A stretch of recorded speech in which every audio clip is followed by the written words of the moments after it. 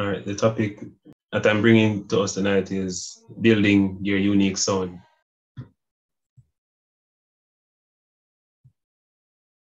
All right, you see my screen?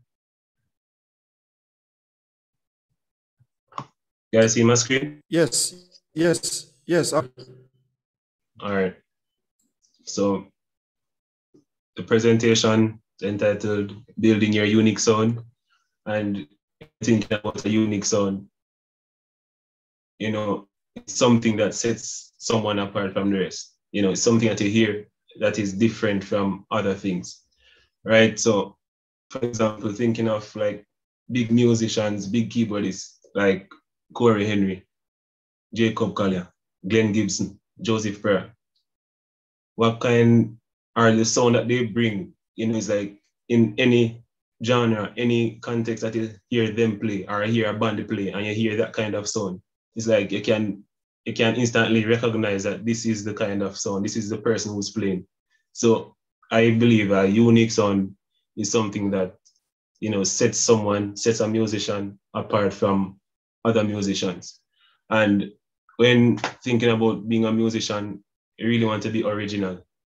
You're original in the sense of, you know, bouncing off of your influences, ideas, the persons who have influenced your sound in music, and use what you have heard from their music to impact your music and to bring something unique. So if you're a musician, you want to bring a style that is honest to your personality. But we really have to find the first process of, you know, finding our sound, which is how do we discover our uniqueness? How do we find our sound? So, and then we have to look at the question, is building a unique sound even important? You really don't need a unique sound to make it in music. And you really don't need a unique sound to be a great musician. But what's the sense in having a unique sound? So a unique sound can a unique sound can or is the best thing for your brand, can do wonders for your brand. It's something that people can instantly identify you with. So any music that you produce, persons can realize that this is your sound, this is your music. All right. And as I said earlier, in terms of Cory Henry playing, I remember, for example, when one time we're head, um, we and the band were heading to Kingston for a recording. And we were listening to this song, You're Going to Live by JJ Hairston. And, you know, I was listening to the keyboardist and I'm saying this just sounds just like Glenn Gibson. This, the way how he's playing everything, the runs, the chords, the movements, it's just spelling Glenn Gibson to.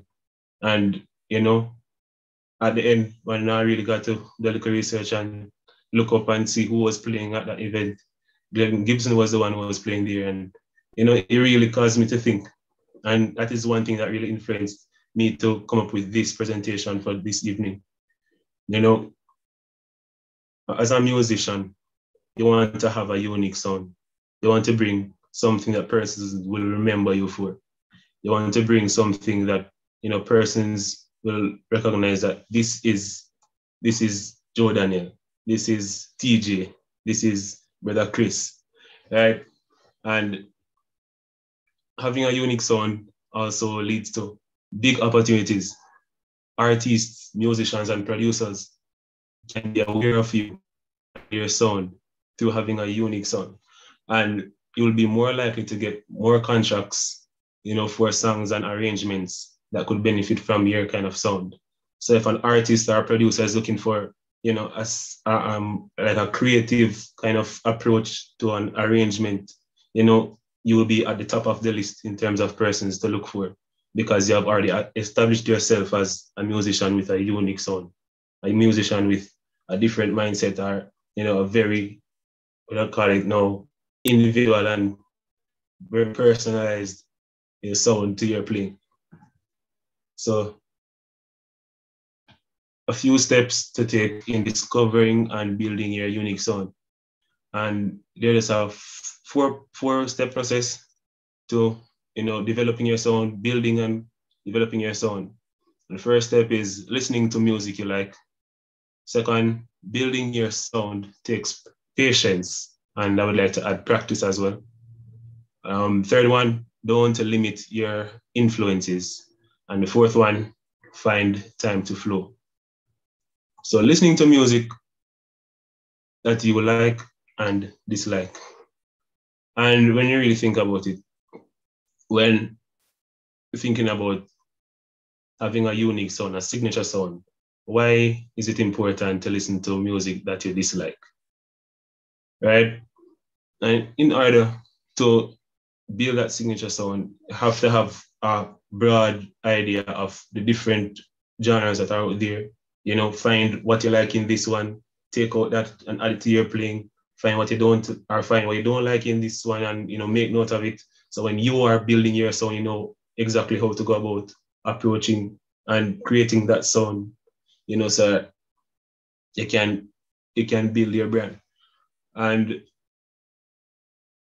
the easiest way, yes, as I said earlier, is to listen to music. You know, unique sound comes from a unique taste, and a unique taste comes from listening to a lot of music. The first and foremost, you should listen to music. First and foremost, you should listen to music. Ask yourself the following questions. Why does this song or arrangement stand out? Or why do I keep listening to this song? So this isn't the case if you like a song, right? Why does this song grab you? Why, do, why does this arrangement grab you? And, you know, try to find those answers. Try to find the things in that song that really stands out to you and make a note of them and try and, you know, transcribe, practice those things that you hear in those songs and uh, arrangements and apply to your playing. Also, you can listen to things that you dislike. You know, ask yourself why you don't like this kind of arrangement. And what keeps you from not liking this arrangement, right? So you can have a proper mindset of when you're building your sound, what you can take out and what you can add to your sound. All right. Second step, building your sound takes much practice and patience. Patience is a must. It is very necessary because a signature sound is comprised of many differences. There are multiple genres, so many knowledge and things out there that you know is available to us. And it really takes a lot of time to develop, even years. And you know, to develop that kind of sound, you have to become well versed with the different types of music, become well versed and, you know, apply that to your sound and apply, you know, uh, bring your personality into, into, into that sound. So, um, a signature sound also doesn't come before technical skill, right? So a person can have technical skill and yeah, a, a, person can have a technical skill, but still don't. But still don't. Yes. Someone mic is unmuted. But yes, a signature sound should not come before a technical skill. It should. It shouldn't be. Second. A signature sound should not come before a technical skill right? So if we don't have the basis of understanding of how certain movements, certain chords, certain melodies, harmony works, we can't build a sound if we haven't gotten the knowledge of you know what we need to build that sound. The knowledge is crucial. And so building that sound takes a good deal of time. All right. Don't limit your influences. This is the third step. Expand your horizon of musical taste. Always be risking, experimenting, trying something new. And rather than focusing on being different, start focusing on bouncing off of your influences, ideas, and come up with something new, unique. Also, mimic what you love. Have jam sessions with other musicians and listen to how they approach music, how they go about music. You can talk to them also and get ideas to help build your song. And, you know, this is a very important part. Other persons or other people will notice your sound before you even do. So I've known a lot of musicians. I hear they play, and I recognize their sound. And when I when when, when, I, when I show them, or when I try to uh, like I try to get in their head and, and and ask them if they don't see how they sound, if they're not hearing their sound, you know, and it's like they're not hearing it themselves, and I I feel that way as well. You know, when persons telling me that I have a sound, you know, and when looking in myself, looking on the work that I have to be putting in, and sometimes it doesn't look like I am seeing that progress, but there are persons out there seeing that progress that I'm making, and they're hearing that unique sound, you know. So it's a fact that other persons will notice that unique sound that you carry before any other person. So, yeah, with that said, a unique sound is a desirable trait something that sets you apart from the rest. It gives you an edge when it comes to marketing and it leads to multiple opportunities. However, it also takes a long time to develop. And, you know, be wary of it, but don't become obsessed with developing a unique sound and sacrifice unique sound or sacrifice technical skill and knowledge and understanding of music for a signature sound and in due time, that signature sound will come. So I just wanted to share now, you know, because we're musicians, we love to hear the music side of things. So I'm going to share approach that I took on a song as the deer. Oh. Sorry about that.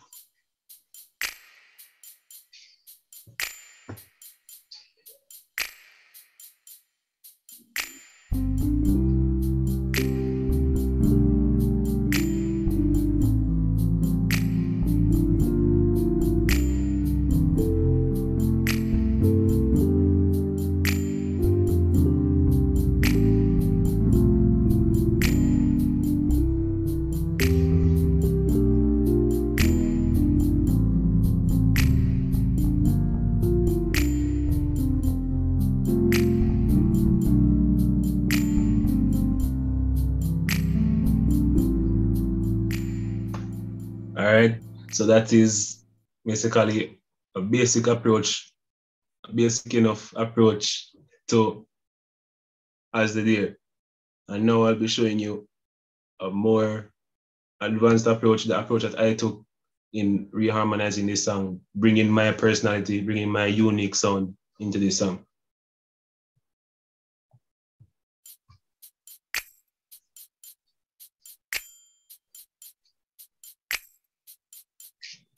I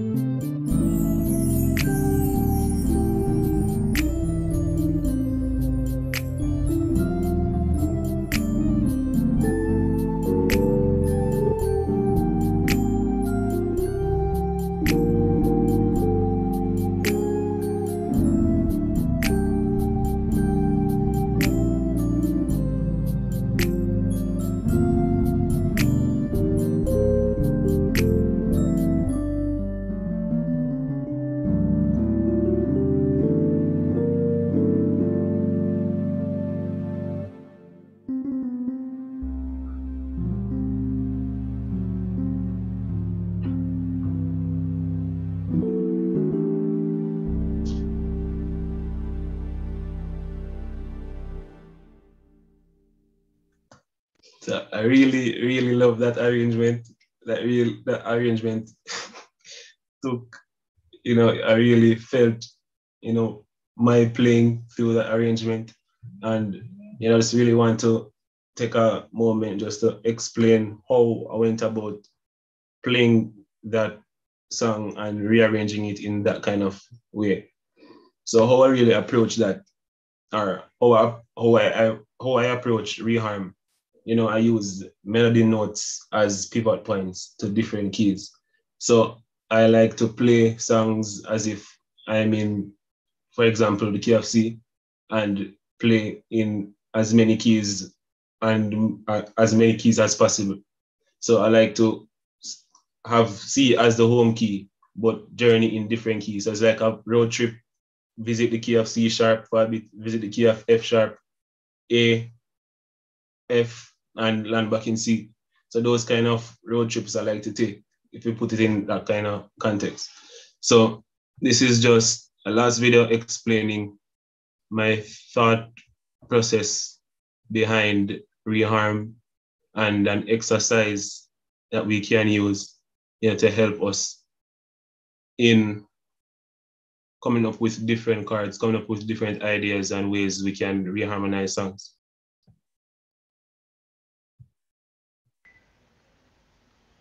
All right, guys. So in this last video, it's just really a breakdown of the method that I have been using and I found to be very effective, you know, in terms of helping me to build my soul and broaden my vocabulary in terms of you know, chords, the relationship between chords, the relationship between keys, and you know this method is basically taking any note, for example, the key of C, establishing that as the melody, and playing that same note in the bass and finding as many chords as possible, you know, between this interval. So we C as a melody and C in the bass. The quickest chord that can come to mind is the C major chord right? Assuming that that bass note, the C, is the key that we're playing in right? So we have the C major, C minor, can play you know those added extensions, the sevens, the nines, without C at the top. It might sound a bit weird, but you know with proper voicings, it can really sound beautiful. Um, also have diminished C diminished seven, have augmented, C augmented, C dominant, I have many, many other chords that can come out of just C at the melody note and C at the bass. You can also have A flat first inversion working as a chord in between this melody note as C and the bass note as C. So just with one key already, we have found almost probably 10 chords already. And you know, once you have exhausted all the possible chords that you can find in one key, it's really a matter of going the other keys now and finding as many chords as possible they can find. Make a note of them and see how they can work. Right, so for example, I can't find anything else in C and I move on to C sharp.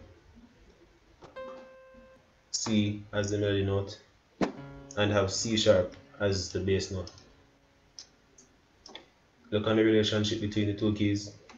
C in the key of C sharp is a major 7. Right, so the first chord that comes to mind is a C sharp major 7. Right, there are other chords that can be used like this augmented kind of sound also have like the C sharp major 6 major 7 I really not good with the chord names. I don't yeah, know. um, also have, this one was a um, and, and you know, it's just really up to trial and error finding the chords that work best you know for you and the sound that you want to bring across and once you establish that in the key of C, go C, C sharp, go through all the keys, D, E flat, E, and find as many chords as possible. You know those keys and you know make a note of them, practice them, practice the movements involved, right? And it can really help to build the playing. All right, guys. So what that video was supposed to explain really is just how to use a melody note and a bass note and see how many chords they can come up with, right? It, with each interval. So with C as a melody and C at the bass, how many chords that you know, you know, the based on the idea and the knowledge that you have of chord qualities, right? Or are you able to, how, how many chords are you able to come up with? And, you know, going through all the keys, C sharp at the bass with C at the um, melody, how many chords, D, and go on right through all the keys. And that's really the approach that I have taken and I have seen how that has brought me a far way in terms of my sound.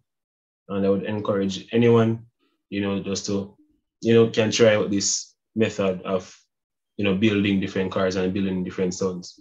So this here ends my presentation and back over to you, Brother Chris. JoDaniel. Bro, that's high level stuff. All right, great, great, great presentation. All right. Um, I'm seeing TJ's hand is we started um this live stream. TJ's hand is up. So I, I know he wants to ask you the first question. All right, so persons over YouTube, I'm gonna ask you to type your question in the chat. And the persons on Zoom now, I'm gonna ask you to raise your hand.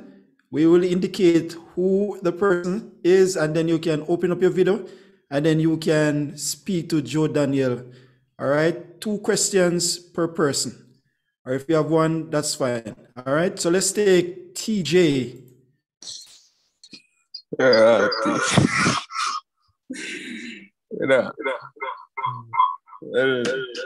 first thing we can say for, this evening is that from the first time really hear this guy play, but the person really introduced me to Rehab musician still, but I never fully get the concept the first time, explain it. so it's kind of a good re- it's kind of a good thing so that you do it over so you kind of really get a better understanding of when really explain to me the first time. But um so with the concept we explain, like using melody notes to create chords basically, it's almost as if you build your own progression for each song. So from a perspective where you grew up as a fundamental musician, like you know your standard progressions. Everybody know them standard progressions. They have seven main keys or seven main chords you know so you're supposed to use. You have three minors, one diminished, and three majors. Nobody now go expect if you go all na some flat two, flat three, or something. How you break yourself out of that habit of not being fundamental. All right. Uh, I was struggling with that for a good while, you know, because, you know, I really got trapped in that whole sticking to the rules. Sometimes you can't feel free to break the rules. You know, music has, I, I believe music has no limits.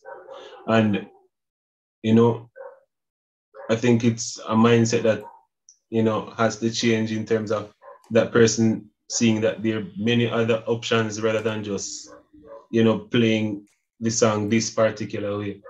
So I would say, you know, how I came out of that kind of concept, I just really had to, you know, really talk to myself and I saw the potential that I could reach if I, you know, if I, if I, um, what I say no, I saw the potential that I would reach if I continued in this route and I just had to get myself out of that mindset, have those practice sessions where I just focus on understanding the different chords, understanding how they work, understanding the relationship between the keys, and you know, finding a way how to just use one and two out of the chord movements, you know, in your playing. So taking time bit by bit, getting those little, you know, those little fancy things into your playing. Really hope that helped. Oh, so, uh, basically, it's almost uh, practicing fluency. Yes. Okay. So, like for example, now, reharming a song where you never practice. So for example, you just randomly go to a normal song. Like, I know it probably become you. I probably to everybody. Um, how would you approach a song in the middle of the song, just to add your own it again? Uh, I would I would play based on what I hear. You know, if I hear something and I realize that it can work without clashing with harmony, because you know that uh, in like in a setting like a church setting, you know, some persons might be singing in harmony. So yeah, you have to be listening to the melody note as well as the harmony, and you can't play out with that with that melody note, the right melody note, and a different harmony. You're gonna have some clashes there. So what I would do, you know, I would, you know, based on what I hear, I play play what I hear. If I hear if I hear something that can work, I just flow with it. But I think most of this really comes when you have that individual practice time, when you really focus on that, because it can be tricky executing those things in church. Because in the moment you can feel you can feel the or you can feel the inspiration to do it, but if you haven't practiced it, it can really, really throw off some persons. Uh, but respect, respect. Yeah, bro. Yeah, bless up, TJ. bless up, Chris. All right. All right. Um, JoDaniel, let's look into the type of instruments that you play. What is your, your favorite uh, type of keyboard? And tell us why it's your favorite. Um, my favorite keyboard, I love the Motif, Yamaha Motif. I just love the feel. I love the feel that it gives. You know, in terms of the rebound of the keys, it just really feels nice to me, and I love the sounds. I love the you know the different things that I can use that keyboard to do. You know, and I I see that as my favorite keyboard. But my Okay. but my my top top top keyboard is Nord Stage Three. Okay. Why is that keyboard um, is at the top for you? Sounds the the sounds are just rich, rich, rich, and Hmm. I haven't felt one before, but just by hearing other persons play and the experience that they're having with it is like it really, really, really makes me want to jump on one of those as well. I know it's costly, Okay. but it would be a great, great investment. Mhm. All right. Um, I, I know you have thought of a lot of popular artists, right? And somebody once said that keyboard collabs are, are not really a- an ideal thing. But who is the person that stands out in your mind that you would actually dream of performing for on one of these main stage? Which one of these artists? Tye Tribbett. Tye Tribbett.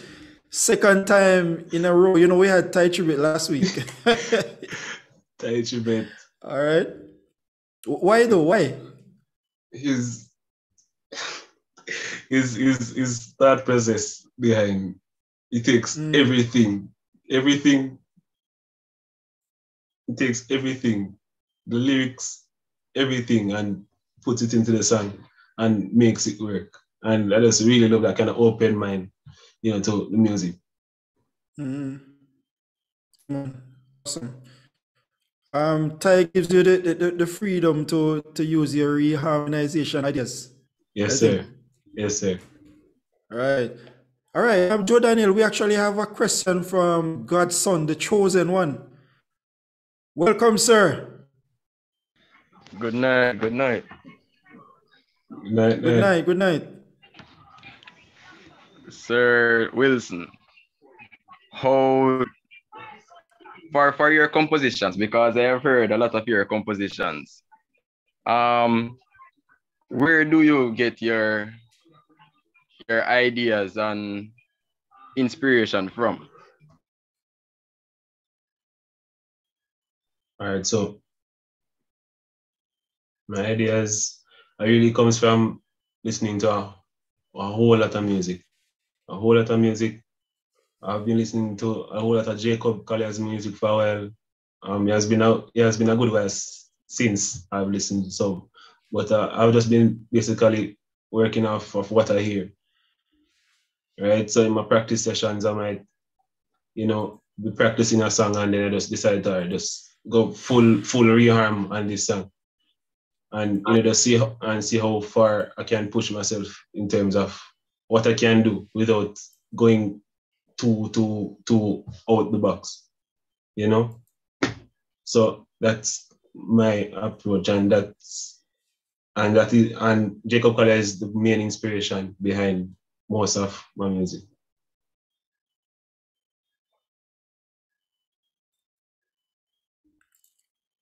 Awesome. All right, Sir Godson. All right, we have a question here from Miguel Thompson. He says you do a lot of vocal arrangements and composition of your own. What is your creative process like? What is my creative process like approaching vocal arrangements? So, first,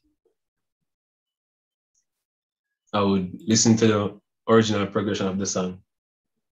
I use that original progression as the basis of where you know I'll start my arrangements.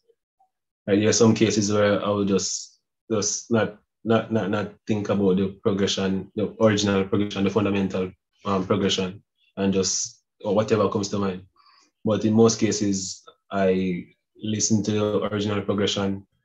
I listen for parts, you know, that sounds like a nice pivot point to go to a next key or to make a next, you know, interesting move.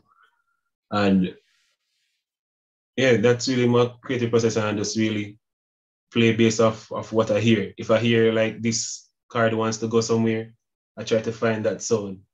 I try to find that that that that, that harmony that will match up with what I'm hearing, you know, in terms of the song that I'm playing and reharm. Okay. All right. We have um I'm seeing TJ's hand and I'm seeing um Godson chosen one. Uh, but let's take Delano before we take those other guys that went already. Delano Patterson.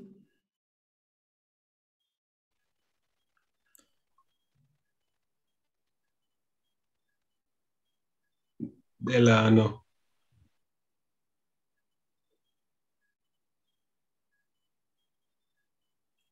Yes, we're not hearing a Delano. All right, so you hear me now? Yeah, man. All right.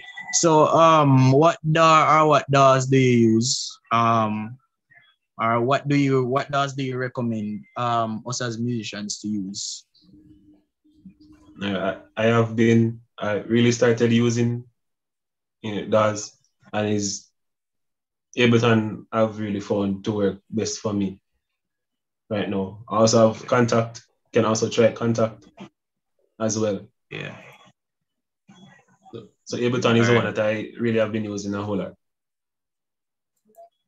All right. Thanks, bro. Respect, man. Yeah, man. No problem. Uh, Yeah, bless up Delano. Um, let's go back to TJ. And then we take Godson. All right. Um, notice like one of your arrangements or compositions or whatever the hell we can call that. um, you did a can I call it a microtonal composition of Great is Thy Faithfulness once that does not contain chords, I might add. How on earth did you come up with that? Uh, it was just, it was just, I think it was just the vibe, the inspiration. I just felt to do something totally, totally different, you know. First, by playing, by reharmonizing the song first, and then doing it in- a key that You know, is not in the normal or in the Western tuning. You know, so I just really got an inspiration just to try something, just to push my musicality, you know, push my creative, you know, aspect to me and my sound. And I just decided to go full hard and great is thy faithfulness in a microtonal key. Insane, bro. Well done. Respect. I appreciate it, man. Um, Godson, you ready? Yes, sir, I am. All right, everyone hear me? Yeah, man. Yeah, man, go ahead. right. All right. So so there so there is a myth, I can call it, um, that you have to be born with perfect pitch. Um, I know that you're that you're that you have pitch accuracy. Um, were you born with perfect pitch or did you develop perfect pitch? And if you develop perfect pitch, how did you do it? And I don't, I personally don't think I have perfect pitch. I think I have a high relative pitch. I think I have a high relative pitch. Um, I've tried working on the perfect pitch and what do I say? How I start, how, how I did it, I just like listen to, you know, keys, just listen to like different individual keys um, for quite a while until I get used to them, hearing them, and you know, just having them around me, just listening to like, probably go to bed with like uh, you know those kind of um, perfect pitch training videos. Yeah, so I used that to help me, and that has really helped me a lot in terms of where or how I can find a key quickly or can hear a certain chord and identify exactly or close to accurately how um what chord that is. Thank you very much, sir. Yeah, man. All right. Awesome. Um, we have a question from YouTube from um what is this? C. Drew Beckford. I hope I pronounced that accurately. Um, how do you ap- yeah, how do you approach practicing in every key? All right, how I approach practicing in every key? All right, so I take one thing, one thing, not a whole song, one like one movement, and go through all the keys. You know, practicing it, you know, chromatically up, whereas I whereas are doing it in a perfect fifth kind of style, perfect, yeah, perfect fifth kind of style.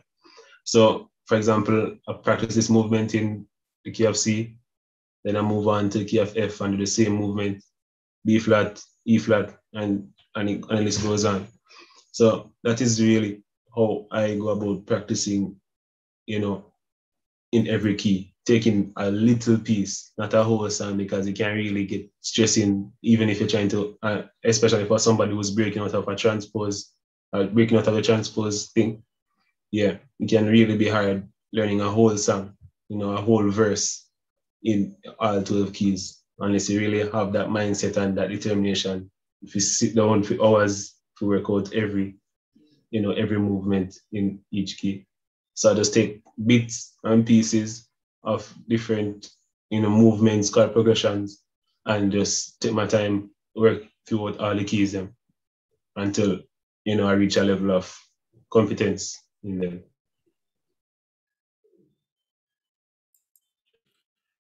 All right. Um, let's take this one from Pocket King Music. As a MD, how do you manage to push, dominate, and keep the feel of the music while blending together with a live band? I can repeat the question again.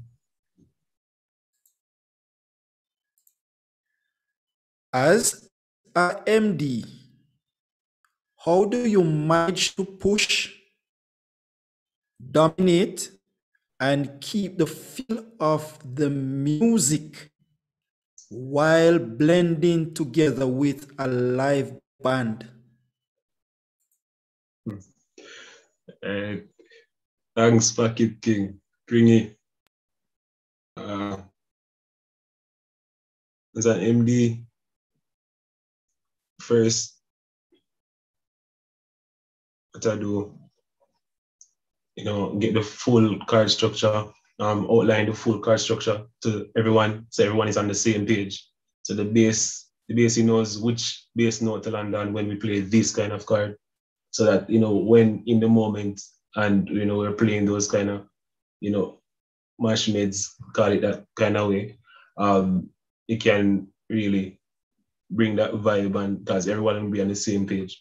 So that's really my way how I keep the blend of the band, you know, outlining the chord structure from before, getting the guys used to the kind of approach that you know I would take, you know, and giving them an idea of what, you know, my my idea is towards this and then going on the live set or the live performance and executing and just enjoying ourselves and just being free to um whatever comes to mind, you know, to work off of that and you know create a great vibe.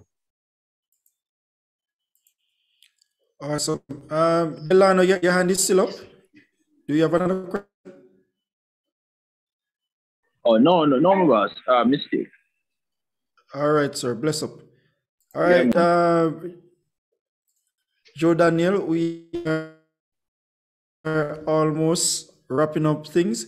Um, but I, I feel there's someone else who has um, at least two more questions we'd like to ask. Um, do you have family in the the Zoom chat here, Um, let me check. JoDaniel? Let me check. Um, yes, sir. All right, Yes, you, you can give a, a, a shout out. We normally give shout outs to family members who are here to, to support the presenters. All All right. Um, So- Desmond Wilson. Yes, sir. Who's Father- Desmond? my Father, sir. De- oh, Desmond is the father. Uh, Mr. Yes. Wilson, would you like to say something? you put him on, on the spot right now. Hello. Sir Desmond, Yes, sir. welcome. Welcome to the Music Hacks Network. You can open up your camera and speak. Not likely. I, All leave. I leave the spotlight on, on, on JoDaniel, my son. All right. Take a minute and, and, and say something. Well, I was just looking at this sample from my gene pool from a whole new level. Because um, I've seen him, I've heard him. I sometimes I'm a, a late worker and I see and I hear him in the room, and I see that he he sleeps, lives, breathes music, and so it's quite clear to me that it's a part of his DNA. Um, he is very committed to this craft and is obviously beginning to show. I know he didn't get it from me, but um, I do have a appreciation for good music, and I realize that he has taken music to a whole new level. I hear people referring to him as alien.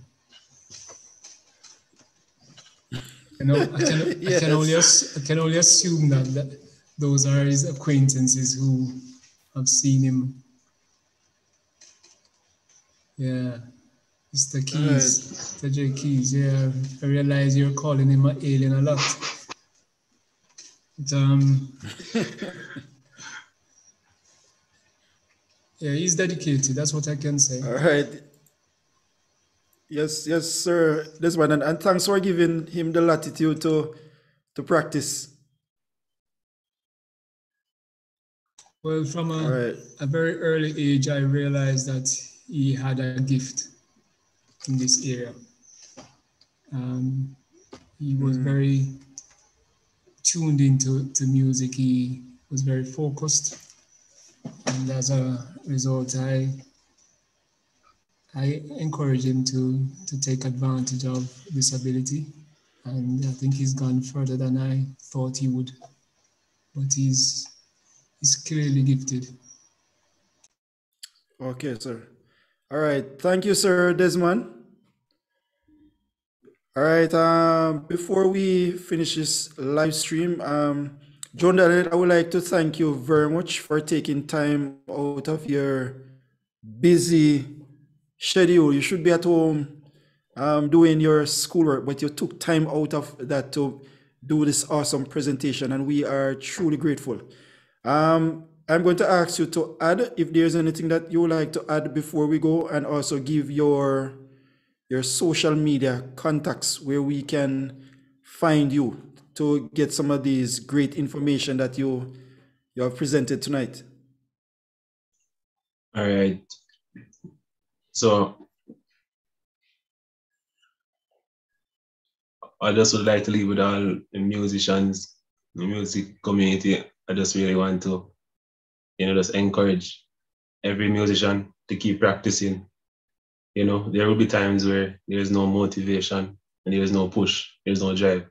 Many times you might hear so many great musicians out there killing it every time they play, bringing something new to the table every time they play and it really causes you to think that you know one minute you know really not make any progress because these guys just basically uh, uh, uh, a, a, a, a blossom overnight you know but it takes time it takes patience it takes much practice and sacrifice.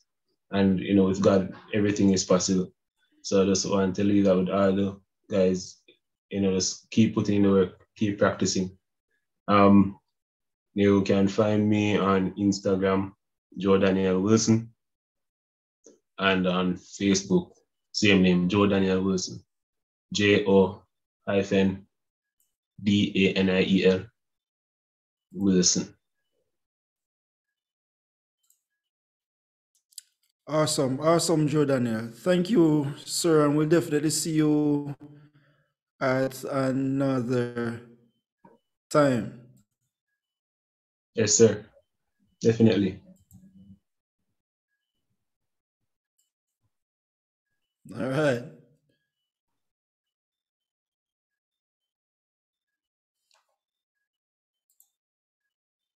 I definitely want to thank you guys for joining us today on the Music Hacks Network.